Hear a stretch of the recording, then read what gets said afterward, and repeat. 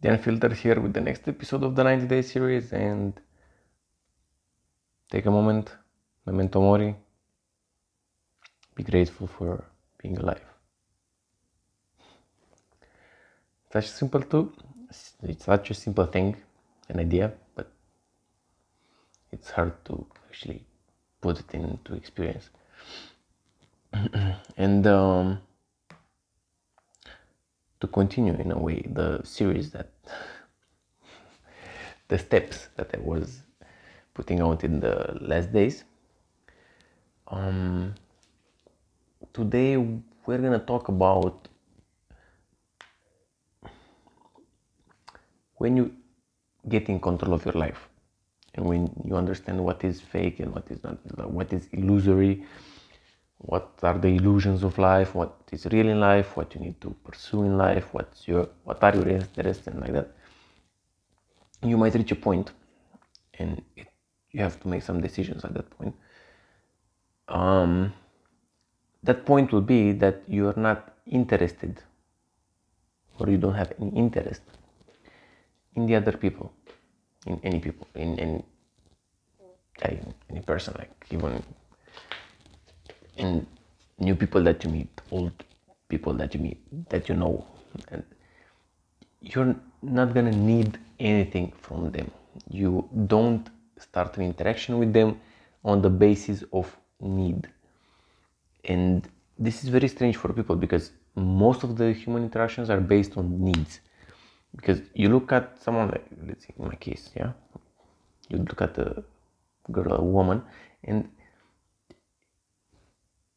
even unconsciously, let's say, you might have a sexual need and or interest, and you might, or if you're in another situation and you meet someone and you know you maybe you want something from them, or if you are what at work you interact with someone maybe with the intention of getting something from them or them getting something from you. And this is like the basis of human interaction mostly like you interact with people because you need social comfort you know you need social interaction. And but then if you are in such a moment let's say you just need social interaction and you like just to go out and talk with someone but the moment in which you are comfortable with yourself and you're okay with just spending time alone with yourself and let's say you are faced with a situation in which that person wouldn't be very happy to spend your time with them. You can just say no. And that and you don't mind because you don't have any interest with that with that other person. Like you can just let them go and not care.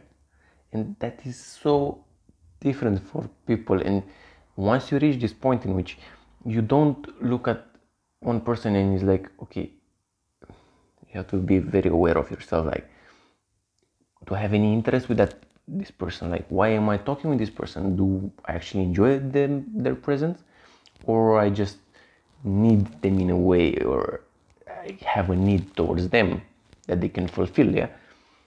And when you don't and you interact with someone on that basis you're gonna have to see and like practice this and see how they react because the attitude of the people around you is gonna change tremendously because people usually that act and that live their life in this way of need and just like what are they receiving or giving from other people and when you have no need for that and no desire for that and you just if you feel like you, you it's okay for you to interact with that person or